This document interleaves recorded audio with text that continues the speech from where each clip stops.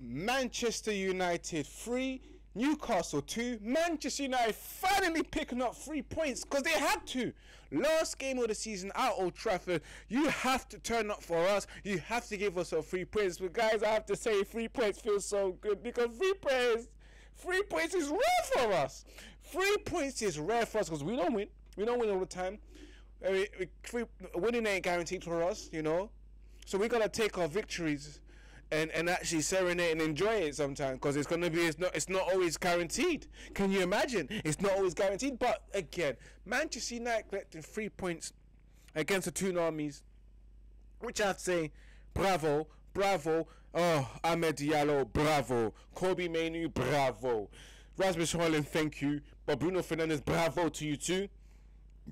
I'm about bravo, Casemiro, bravo, because you man turn up today, especially Amad. Oh, oozing sauce, as expression would always say. But yes, today United. Uh, let's let's let's let's just break it down because when you look at that first 45 minutes where Manchester United didn't really starve to the best of their abilities. And, and um, so many times we gave the ball away, you know, misplacing passes, not being able to control the, the half as well. And it was Newcastle who were the better side. Let's be honest with ourselves. But uh, we got that first goal, and that first goal was good. Kobbie Mainoo an assist from Bruno and a pass that went fed right through and Mainoo was running. Wait a minute, am I offside? Am I on or offside? And he didn't know what to do. Kobbie Mainoo taking the shot, scoring that goal, making it 1 0, and then of course the lovely blowing kisses to the Manchester United fans, you know, because he is the future of Manchester United. Everything should be built around him and that particular midfielder. And Manchester United was setting themselves on their way. Even in the 45 minutes, I just think that we wasn't good. We could have done a lot better, especially going forward as well, because we didn't test the breath cut really well. Half time 1 0, we're going into the second half. United can show a bit of enthusiasm when we go um, into that second half. But one thing I have to say, the goal we conceded, and I'm I'm so worried because the amount of times we concede goals like this. Why do we concede goals by being the ball being cut or cross, going straight into the box for someone to tap in? Manchester United are just guilty of conceding goals like that, and it has to stop. You know, Man City eat that for fun. They love scoring goals like that. Tap ins, they love it galore. So Manchester United, why can't you fix up defensively? It's a good thing that Lisandro Martinez is back. Manchester United getting that lead, and Amad Diallo, who has been exceptional today, oozing sauce, balling today. Oh, all over the place, man. Skills. And I'm wondering, you've held him back. Erik Ten Hag, you scrub, you held back Amad Diallo, you held him back from us, you know. And so you gave us Marcus Rashford, Rashford who's been absolute pants throughout the whole season, and Rashford himself, who he was booed. Rashford was booed so many times in this, and, and had, and also had a little argument with the fans, his own fans. That's how you know he's done with this club. He's arguing with his own fans, Marcus Rashford.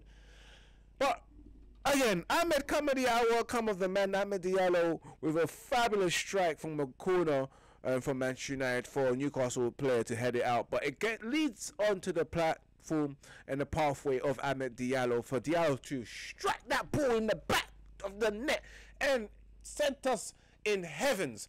Manchester United then made it 3 1. Rasmus Højlund, Bruno with a fantastic game with a lovely pass.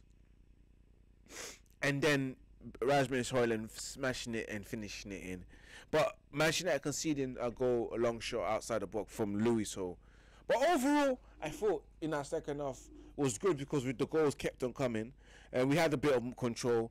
But there, there were times that I thought Newcastle was looking dangerous, and, this, and we were scared. We were scared when it was three two in the last nine minutes in added times because we were thinking to ourselves, surely not again, not again. But even full time, we won. Even the speech of Erik Ten Hag wasn't convincing enough. You know, the guy saw the spit bare times when he was talking. um, no, did he? Yes. Um, wasn't really convincing. You know, if that guy is the motivator in the change room, no wonder why they're not motivated for every single game. There's a reason why, because that was a horrible speech, man. I don't even think the fans bought it because they started booing at the start. Uh, I've never seen an end of season speech like that. But again, let's go to players because Casemiro, who was wonderful today, um, defensively, and then he moved into midfield, but he crucial blocks and head that header off the line. Gotta say that was crucial. Bruno Fernandes coming in and making a difference, getting those two assists. Amad Diallo, beautiful baller as well. Ah, got the goal as well, the more the important goals. And Amrabat played well back to back games. It is is. But man, the match day, guys, I have to say it's either going to be going towards Bruno Fernandes or Amad Diallo. But I'm going to go with Amad because that goal was was important. Bruno got the two assists, but that goal Amad scored was important to lead us into this victory and win us this game. Dunk of the match today. Uh, I don't know, but you guys let me know in the comments, bro. But this has been your match reaction from your boy Ivorian Spice. One more game for the Premier League, and then of course the FA Cup, which which we desperately need to win to finish in Europe because Europe ain't gonna be for us next season because Chelsea have secured themselves. I think so. Three points clear. Um, they can only lose it to Newcastle. We, on the other hand, with a goal difference, we're definitely not making Europe no more unless we win the FA Cup. Hopefully, the boys can do it. Well, guys, let me know what your thoughts in the comments. Let me know who your man of the match is and doc of the match. And again, as always, remember to keep it united and remember to keep it red united. One more game, one more watch, two more watch alongs. Peace out, sayonara.